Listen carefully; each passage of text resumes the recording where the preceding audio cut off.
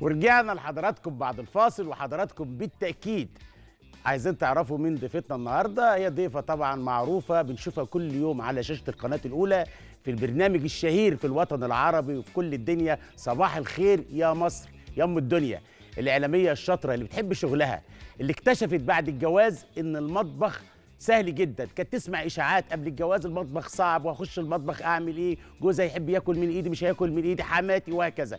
اكتشفت بعد المطبخ إن المطبخ ده بعد الجواز إن المطبخ سهل جدا وبدأت تتعلم وتعمل كل الأكلات اللي بيحبها جوزها وأسرتها.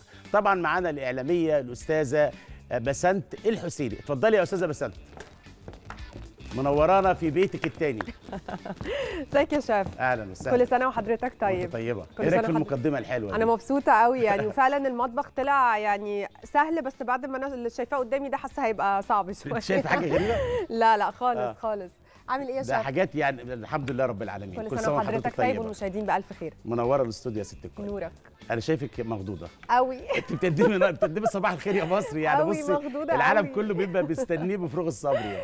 آه. المطبخ بالنسبة لي كان في الأول حاجة صعبة قوي كنت بخاف منه قوي. آه. وكان كل الناس بقى مخوفاني انت طول عمرك ما بتعرفيش تعملي حاجة فلما تتجوزي متوقعة إن انت يعني أول ما تدخلي المطبخ هتعرفي تعملي حاجة. آه. ف يعني حاسك داخلة اختبار بقى ويعني هو فعلا هو فعلا. على فكرة هو المطبخ طريق الوصول مش لقلب الراجل. مم. بالعكس إنك انت تكوني سعيدة بين أسرتك.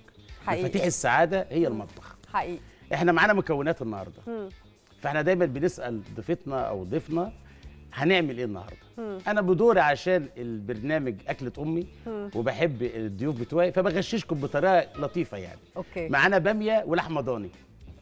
يعني بامية باللحمة الضاني طاجن بامية باللحمة الضاني. دي سهلة وجوزي أكلة بيحبها. مصرية موثقة. حلو. بنروح في آخر الدنيا هي مصرية البامية بالذات. حلو. معانا صدور فراخ وبقسماط وبيض. فراخ بانيه فراخ.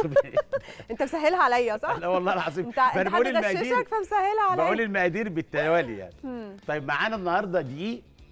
وخميرة وسكر.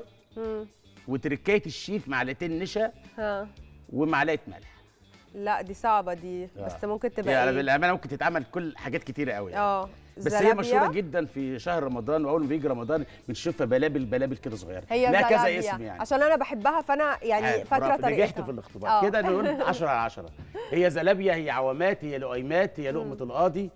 لها أسامي كتيرة مشهورة في. الدول العربية وهنا يعني. إذا المنيو بتاعنا النهارده بعد إذن السادة المشاهدين بضيفة النهارده وهي مش ضيفة هي طبعا صاحبة المكان وفي بيتها معانا طاجن بامية باللحمة الضاني معانا صدور فراخ هنعملها بانيه بتركاية كده وتطلع معاكي كريسبي وما تفكش منك في قلب الزيت معانا الزلابيا اللي هي العوامات اللي هي لقمة القاضي. هنعملها النهارده بطعم مختلف وبطريقة سهلة للمبتدئين في المطبخ. زي الأستاذة بسات للمبتدئين في المطبخ تقدر إن هي تعمل لجوزها الزلابيا وطبعا معانا شوربة لسان العصفور. الله.